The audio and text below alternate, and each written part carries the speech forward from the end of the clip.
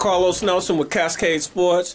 We're here at Penn Valley at the Holiday Girls Tournament. And who do we have here? My name is River Remis, and I play for Tolton Catholic. What grade you in? I am a sophomore. Sophomore? Boy, you, y'all are loaded up with uh, sophomores. And what position do you play? I'm a basketball player. No, what position? I, I play all around. you oh, so you you a utility? What, I'm sorry. You utility? I'm saying utility as Oh, in yeah. you're all around player, Magic Johnson type that can play guard all the way up to the center, forward, Yes. whatever. Yes. Uh, do you have some handles? Not the best. Not the best. You're only a sophomore. Uh, how about your hops? You got some hops? I'm getting there. You getting there? You working on it? Yes. You uh, you work on your game in the summertime. Yes.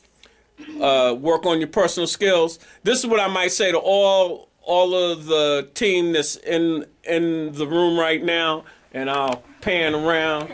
Hey girl, hey girls, this is on a serious note.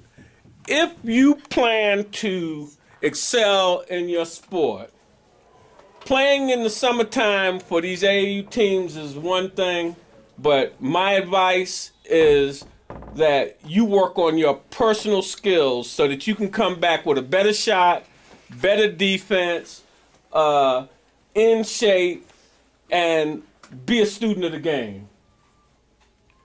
So, uh, how you feel that you're going to play today?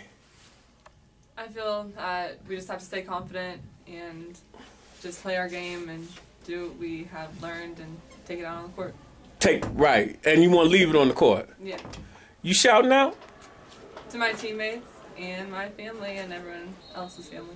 All right. Pleasure having you on the show. Thank you. All right.